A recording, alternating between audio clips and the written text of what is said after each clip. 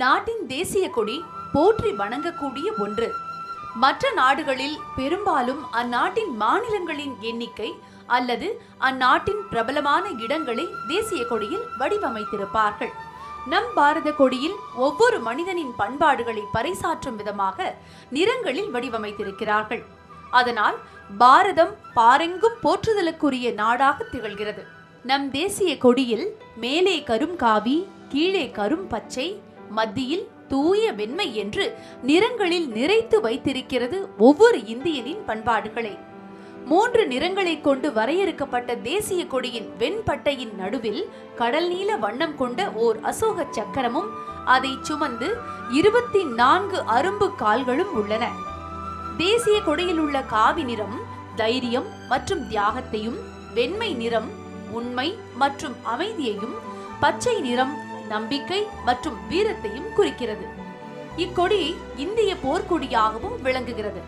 ஆந்திர பிரதேசத்தைச் சேர்ந்த பிங்காளி வெங்கையா என்பவரே நம் தேசிய கொடியை வடிவமைத்தவர். கையால் நெய்யப்பட்ட நம் தேசிய கொடியின் நீள அகலங்கள் மூன்றுக்கு இரண்டு என்ற விகிதத்தில் இருக்கும். இந்த மூவர்ண கொடியை அரசியல் நிர்ணய சபையில் ஆயிரத்தி தொள்ளாயிரத்தி நாற்பத்தி ஏழாம் ஆண்டு ஜூலை மாதம் ஒருமனதாக ஏற்றுக்கொள்ளப்பட்டது.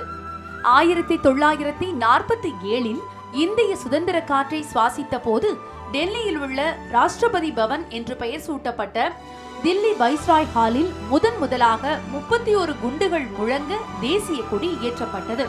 அதிலிருந்து தேசிய தினங்களான சுதந்திர தினம் மற்றும் குடியரசு தின நாட்களில் இக்கொடியை ஏற்றி போற்றி வணங்குகிறோம். சுதந்திர தினம் சில தினங்களில் வரவிருக்கும் நிலையில் கோவையில் தேசிய கொடியின் தயாரிப்பாளர்கள் அதன் விற்பனை அமோகமாக இருக்கிறது என்று மகிழ்ச்சியுடன் கூறுகிறார்கள். இந்த ரெண்டு வருஷத்துல பாத்தீங்கன்னா இளைஞர் முதல் கொண்டு சுதந்திர தினத்தை ரொம்ப சிறப்பாக கொண்டாடிட்டு இருக்கிறனால எந்த வருஷமும் இல்லாம இந்த ரெண்டு வருஷமும் நல்லா போய்கிட்டு இருக்கு. அதுல இந்த வருஷம் பாத்தீங்கன்னா ரொம்ப ஜாஸ்தியாவே போயிட்டு இருக்கு. கார் கொடியிலிருந்து கம்பங்கள் கட்டும் கொடிகள் வரை தாங்கள் தயாரிப்பதாகவும் தேசிய கொடிகள் ஏழு ரூபாயிலிருந்து ஆயிரத்தி ஐநூறு ரூபாய் வரைக்கும் விற்பனையாகிறது என்று கோவை மட்டுமில்லாமல் அண்டை மாநிலங்களுக்கும் மொத்த ஏற்றுமதி செய்யப்படுகிறது என்று மகிழ்ச்சியுடன் கூறுகிறார்கள். எதிர்வரும் சுதந்திர தினத்தில் தேசிய கொடியை ஏற்றி போற்றி வணங்குவோம் நம் தேசத்தை.